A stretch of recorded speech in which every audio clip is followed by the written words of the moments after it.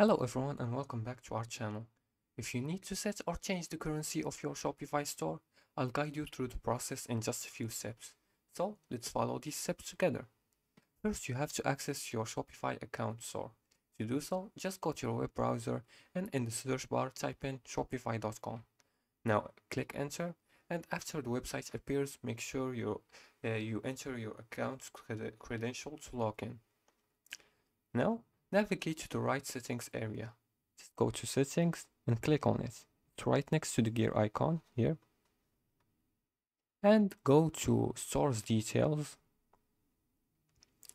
Go to source details and in the standards and format section locate the currency field or you can locate it here store defaults and you can say currency display here to manage the currency customers see you can also find it by uh, searching for store details here and clicking on it and you will be directed to here.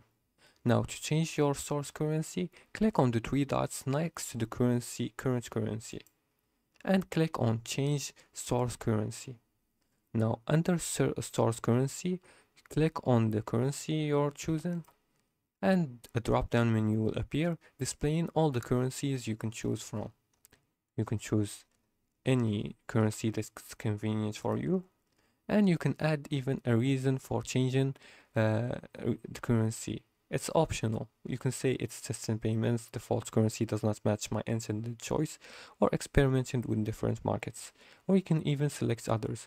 But this is not uh, important. It's just for the shopify stores informations. So it's optional. You can skip it. After uh, modifying it Click on save to keep your changes. Now after selecting your currency and saving the changes, keep in mind that once you make a sale in a currency, it becomes harder to change later, so choose very carefully. And that's it. If you like this video and found it helpful, please like and subscribe and leave a comment in below the video if you have further more questions. Thanks for watching and see you again in the next tutorial.